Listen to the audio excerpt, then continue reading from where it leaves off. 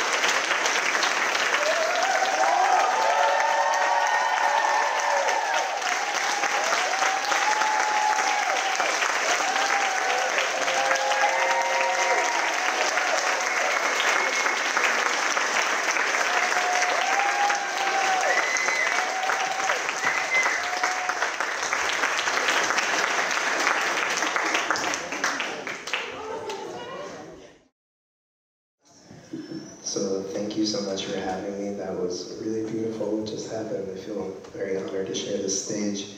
Um, and I'm also so glad that Hut is back, so thank you to Jay and Jay and to Jen. Um, so I'm going to read some poems from a collection that I wrote called Florida Man. And uh, these poems are about a time that I was living in Florida, taking care of my dad who was dying and uh, selling pot and living in a senior community. so that's the terrain we're in.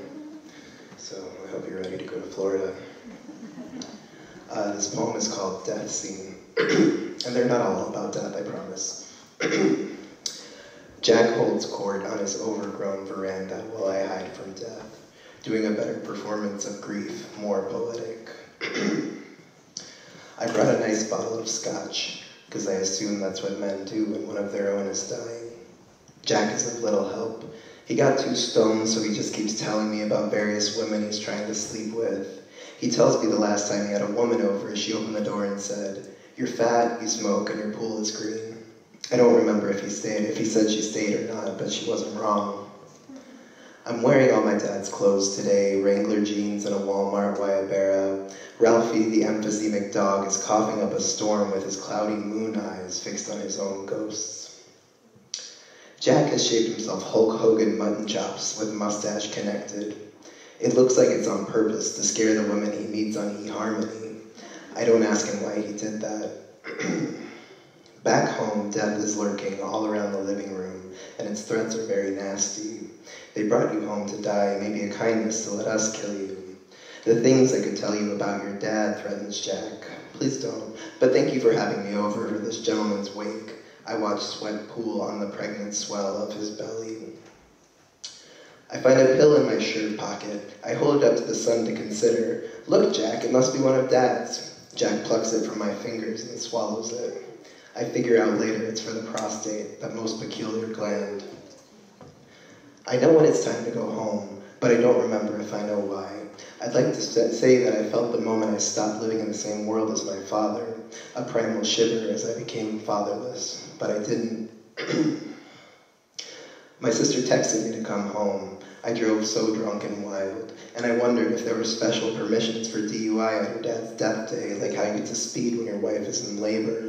But probably not, because what's the point of rushing toward death? It's not like you can beat it home. My sister and I tried to convince my mom to let us cremate, we said, so that when you die, we can mix up your ashes and you can finally be together forever like you've always wanted. We said we'd take them back to Manhattan and dust them around all their old places. We said we'd mix them with coke and smoke and snort them. We want to freebase you, Mom. We promised a wild ride. We got in a pissing contest for who knew him best. Sure, you know his, you knew him longer, but I wear his face. I wear his jeans. I became him for the occasion. I fight my mom to choose his burial outfit because it seems like a son thing to do. But it doesn't matter since the funeral people wash and dress him in some kind of Jewish death robes. I hate to think of my dad trapped in a box dressed like some Jewish nerd. He needs to be able to move.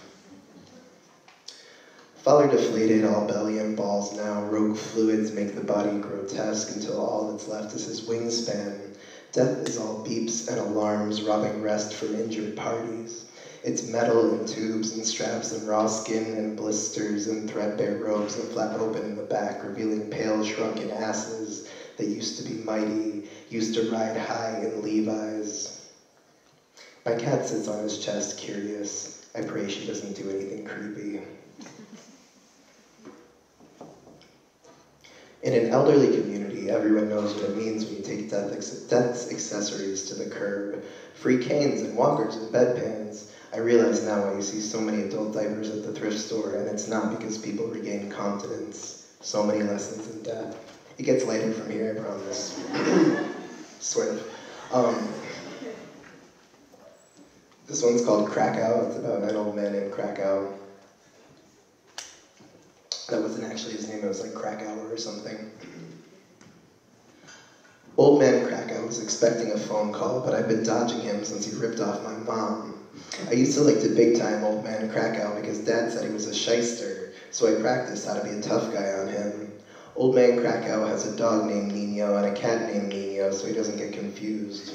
He's not my friend, but I do miss his little bird body and how impressed he was by the Costco steak I brought him from my mom's freezer. He said, This is quality. This is called Joanne. Joanne Five Carat is dead. Sorry. Joanne Five Carat is dead. Everyone thought it would be Doug first with his one leg and his dialysis. when she talked about a dancer, she did this little flamenco flourish to let me know she'd seen things she knew from dancers. 18 months ago, Joanne was leaning in my passenger seat window and I tracked the makeup smears on her single-use mask. She was reusing. She told me how she met my dad. I'll try and remember. She was crossing the street, and my dad was out with Michael Moore, the boxer, not the documentarian. And she was with Brenda, either smoking a joint or wearing a shirt with a joint on it, and so they struck up an acquaintance. One time, either I or Michael Moore, the boxer, lost $600. That was scary. Me and him and my dad glowered at each other suspiciously in an atrium lunchroom at the Delray Beach Hospital. Yeah, that was scary. Mom tells me Joanne is dead, casually. Joanne is dead? Yeah, I didn't tell you. No, you didn't tell me. Oh, I thought I told you. Joanne, I have a confession. All those times you asked for something specific, I just gave you whatever I had on hand, but you never complained, in that you were always complaining. This one's called Suzanne. Suzanne superglues little plastic orchids into the fur of her designer cat. She tells me COVID gets in through the eyes. She tells me nothing gets in through her meds except a killer indica. This one's called Big Pussy. yeah, so what you dated Big Pussy when you were just a couple of nobodies from Queens? What's it like to turn on the TV and see your old nobody boyfriend while you're still a nobody? Oh yeah, I'm doing fabulous. The other night I listened to sound bowls for five hours on ketamine, and now I can't lie. So yeah, I'm doing the work. Uh, this one's called Mourner's Kaddish. There are only nine men at the funeral. This is not enough for a Kaddish. Minyan requires ten. The rabbi shrugs. The Kaddish asks that great peace descend from the heavens, but I guess we won't get peace because we don't know that many men.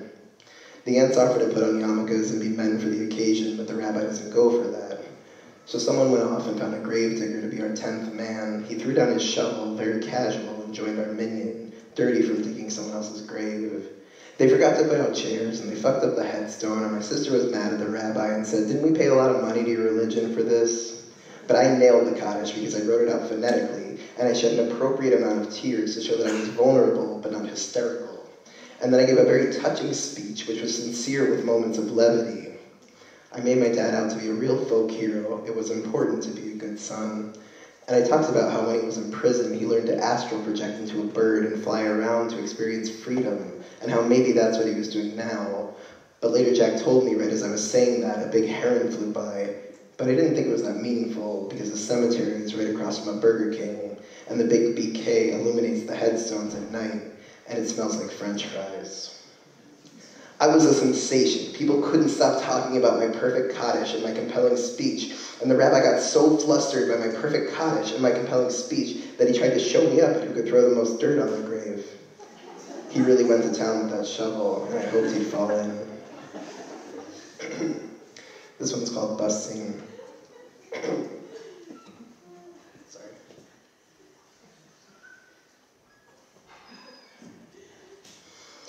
I-70 out of Denver in a rented Kia Sophia with a trunk full of medical grade weed gummies. TCB in a flash on being a man for us minding the speed limit when I see a cop and sit up straight like a criminal in an Oxford, Oxford cloth button shirt. Doom comes in sirens. Something about a storage unit and crowded planes and COVID and a heartbeat rising from my ribs and out of my throat and into my cheeks, spilling all over the dashboard. Knowing I'm busted, just not knowing how. Do you want to go to jail or do you want to answer my questions? In my family, we don't talk to cops until we're caught. Step out of the car and put your jacket on. It's windy this cop kind of looks like me. The man goes in my trunk and at my dash, opening boxes like Christmas, cars rip by, free, and I think this shoulder is so narrow to play out such broad drama. Wearing dad's jacket that mom bought at Costco with the sleeves down over my wrists. Who's gonna come get me? Dad's not home, and I'm not dad because dad is a gangster, and a gangster's hands don't shrink up under the cuffs of their Costco jacket. If I make it out of here, I'll be so good, like shave my neck and do all of my reading. My mom spent three months on the living room couch under a gray sheet which she pulled up to her chin like a little vampire. And one day, my sister and I put a bunch of fruit on the little gray mountain range that her body made and took a picture. And she didn't flinch, didn't care, didn't off balance so much as an apple. And then one day she tried to fight me, so I started dancing like a wild man singing, Mama, I feel so low. Mama, where do I go? And that cooled her off. And later she wrote me that she felt sad that she couldn't answer my questions, and I said, They're Annie Lennox's questions, Mom, you don't have to. So it took three more days to get home from the cops, and I swear, when I cross the state line back into Florida, I see a pickup truck swerve onto the shoulder, and two guys jump out to chase an iguana with a butterfly net. I swear. Uh, this is the last one. It's called uh, Epilogue Florida Man, a eulogy, but it's not sad, I promise. Just a little bit. Uh, Florida man waits 45 minutes for a window seat at the deli. He paces out his impatience in a menacing heat. He eats undersalted matzo soup and drives a rascal around the subdivision, smoking a cigar and waving an American flag. Tanned hide earned his victory laps. Florida Man was a Russian who could close on real estate in a Turkish bath and then eat light so not to ruin the buoyant feeling of health. Florida Man throws a baby alligator through a Wendy's drive-in window, spends his afternoon at Starbucks, not anymore because BDS, uh, round tabling, trying to remember the name of that Spanish place in the East Village. And can you believe how much they're charging for a half pound of smoked whitefish salad? Florida man picks up a woman from Brazil with two kids by an Israeli guy who he teaches to jump from the roof into his swimming pool. He drives her down to Miami and waits outside her ayahuasca church for a to-go order, but can't find anywhere to pee because everything is closed for COVID. So he just stands around stupid and sweating, and then watches her bang her little drum on his patio. And she doesn't tell him she gave some of the plant medicine to the dog, who stopped dying for a whole week afterward. Florida man is picking up his son from the commuter train in a swelling monsoon. He turns too early into a flooded parking lot and rolls a cigarette, and his dash lights dim, and the water rises up to his knees, and power lines whip like dragons beyond the safety of his locked doors. Florida man used to drop square groupers out of a helicopter over Miami until, out of concern for his blood pressure, he became a Fort Lauderdale pizzaiolo, and now everyone envies his leather sectional and thick gold chains, the last remains of his cocaine riches. Florida man forgets to pay his homeowner's fee, so he abuses the teen at the security hut who tells him he can't enter his own community. He curses the very gate that he pays an extra $500 for monthly to keep out the same kind of people the blank page. They hire to work the gates. Florida man's only employee benefit is telling some asshole he can't go home on the tender anniversary of the expiration of his residence pass. My eyes go to the pen left in the bed of the Florida man who fucked me after feeding me pasta made from chickpea flour. He's just coming off a year of celibacy undertaken for reasons vague and menacing. No one comes. Florida man curls his bangs for bat mitzvah, clutches me to his broad and sweaty chest, stripped down to his A-frame, we waltz to sunrise, sunset. Is this the little girl I carried? Is this the little boy at play? Florida man has taken up full-time residence in a hydraulic recliner. Nothing gets through except a commercial for Shaq-a-Roni, an extra-large Papa John's pizza, every purchase of which feeds a hungry child in the community. Shaq-a-Roni, delighted to recognize an absurdity which exceeds those he creates in his own mind, cartwheels away from cops at routine traffic stops, explains how it's mangroves that help clean the oceans, and whips an orchid up into an oak tree to let its air roots hang on for dear life rolls around on the shore break to the stings of jellyfish, slicks them all over his neck and torso because he heard the poison is good for circulation, chews the sand that sticks to the sweat that collects in the condensation on his quickly warming beer. It's just waves, so swim, Florida man. The endless return of the earth's tidal rhythm. Anyone can make it in this swamp, you just can't keep holding your breath. Thank you.